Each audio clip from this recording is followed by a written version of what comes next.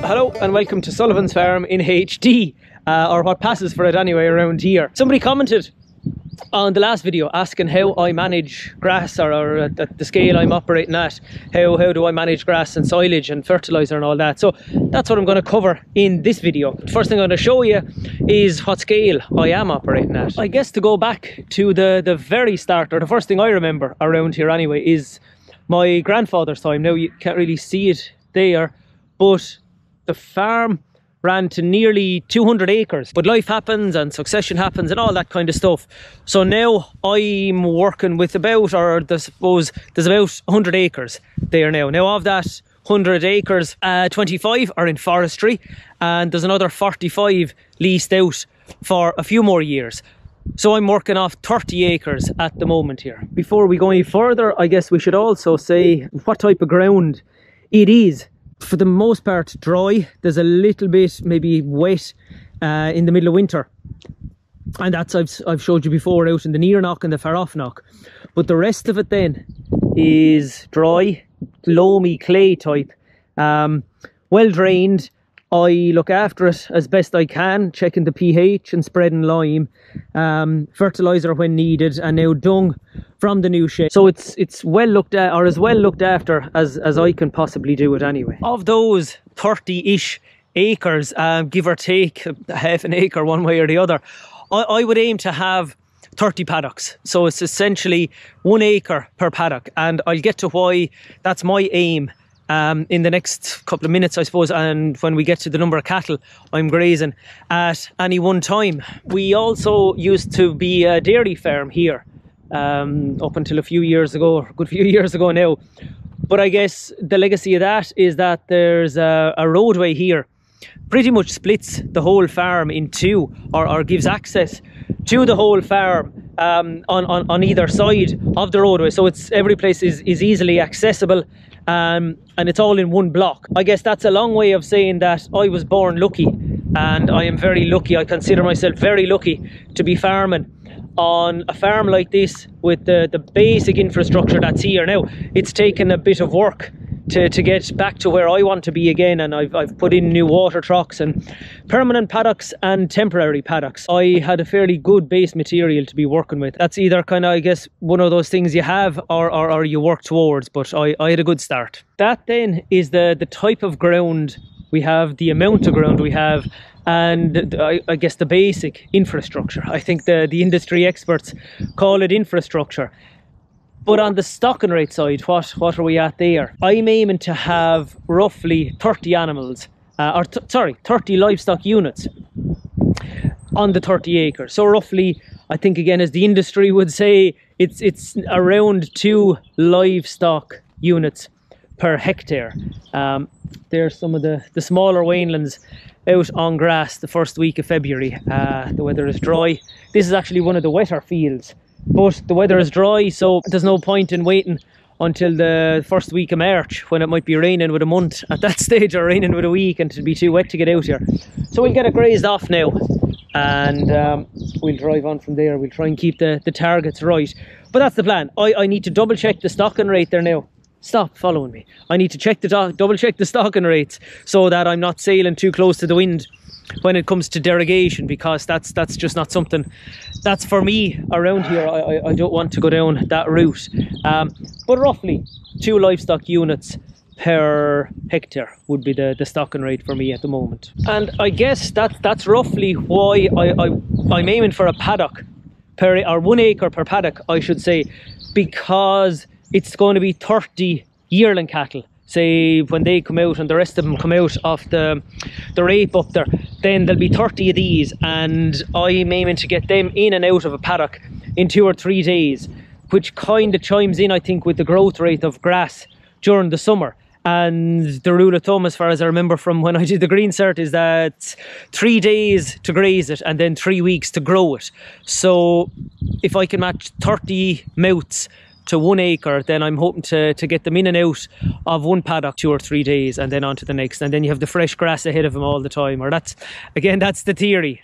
Fertiliser wise, I spread five tonne in 2022 and that was mostly CAN and 18612 and I did it with this old second hand fertiliser spreader But it's all I need at the moment and it does the business. So I'm, I'm not about to invest in anything major beyond that for this year either. I think I said earlier there it's it's it worked out at about 100 kgs of nitrogen per hectare. And I also spread lime on roughly 15 of the 30 acres as well. Some at the end of 2021 and some at the start of 2022. So that's pretty much what I'll be doing this year again, uh, fertilizer wise. I don't think I'll spread lime this year. Um, there's a few field. I don't think there's any field over the past couple of years that hasn't got lime. So I might do soil tests later on in the year into the autumn and then decide if, if anything needs it from there. I'll probably buy a ton of the grow lime, I think it's called, and spread it in the in the spinner. Um, as you can see it there in its own little house. Um, when we're reseeding the field where the fodder rape was. Now, I suppose what I'm hoping is that spreading dung out of the new straw shed would cut back a little bit on the fertilizer. Now, I haven't worked out the details of that just yet and how that's going to work uh, outside of my head. But I'd be hoping maybe I, I, I might save a couple of bags this year. And then when I know more about it, I might save a couple of bags of fertilizer as well next year. But we'll see how that goes. There's no dedicated silage fields as such around here. So every paddock in the place is up for grabs when it comes to cutting silage. Now, what I'm showing you here is just a new gap that I'll finish knocking when the weather picks up or, or I get around to it before we cut silage again because a couple of the fields here you can see where the they're the weanlings we were looking at a minute ago. We cut those for silage as well because the grass just got too strong in, in 2022 and this new gap will mean the man with the tractor and trailer will be able to get in and out rather than me having to draw up the silage from there up to the, the cubicles or up to the shed there, uh, two at a time, which wasn't much crack. Starting at six o'clock one Sunday morning there last summer, and, and the first thing I did was to break the loader or break a pin in the loader out in the field. Um, but we got through it. But that new gap this year will will certainly make things a bit easier if we end up cutting silage down there. So in 2022, I cut 20 acres of a first cut, uh, which was something much more than I'd ever cut before. I don't take chances. I, I took plenty measurements. I was measuring grass for weeks in advance. I was kind of checking the cattle to see how quickly they were getting through paddocks. And I did plenty sums in my own spreadsheets as well as as, as looking up um, what I was doing on, on PastureBase. And then I added an extra week uh, just to be sure to be sure that they, there would be enough grass there for the cattle by cutting the 20 acres and we we got through it. I, I think it worked out not far off um, 10 bales the acre, which is a bit more than I would want. My aim is this year to to move back from cutting it at the end of May to maybe the middle of May. But again, that that's going to be weather dependent, and we'll we'll see how they go. So see how that goes even. I didn't pump out the fertilizer, but I spread what was needed at the time, and we went from there. So for the second cut, I I think it was only six or seven acres. Uh, I'd hope to make the same roughly silage wise and first cut and second cut this year. About 20 acres for the first cut, uh, maybe six or seven acres for the second cut. The only difference this year, maybe I, I might try to make hay for the, the second cut, depending on the weather and, and 20 other factors, I suppose. But it's just handy to have the hay for the calves, they say the, the following spring. The main way I manage grass, or when I'm going to manage grass in the summer anyway, is I get my golf bag out, I fill it with these white stakes, and I, I go and get my reels. And I'll be honest, I, I could probably manage without the tractor around here before I could manage without these white stakes and reels to split up bigger paddocks into smaller paddocks and, and just again match the grass supply with the grazing demand. There's the, the more the business speak coming out of me again. As we leave the shed here, the cubicles, this is the first field you come to and there's nine acres in this field but there are no permanent paddocks.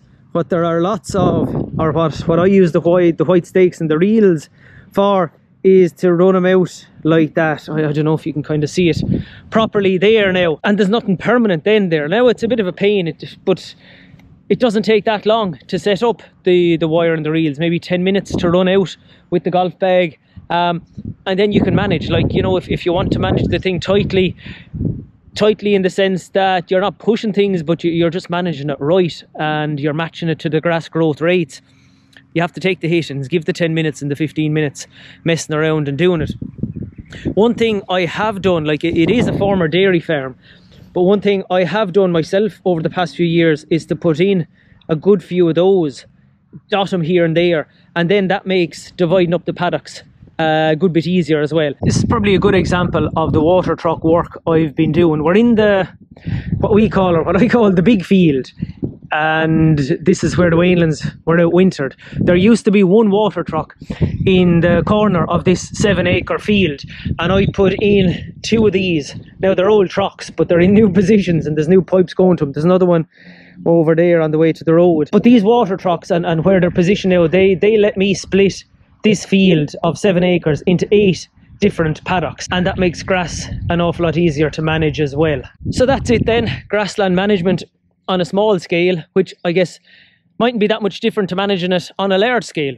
It's just about matching supply and demand, trying to get the infrastructure as best or as right as you can with the few paddocks and the few water troughs and the few bits and pieces.